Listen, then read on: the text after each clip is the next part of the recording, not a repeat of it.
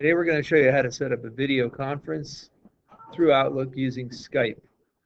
So once you have Outlook open, you click on your calendar icon, choose a date for the meeting, type the subject,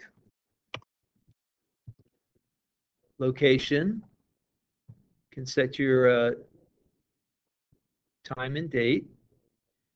Once you've got all that, you click on invite attendees.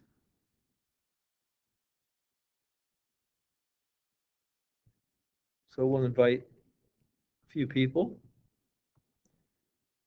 After you've got all your attendees, you click on Skype meeting. And then all you do is click send. And all the people who have been invited will get an email. Oh, Isaac can't make it. Oh, too bad. All right. I think that's it. Bye. Does this stop? Which one is stop?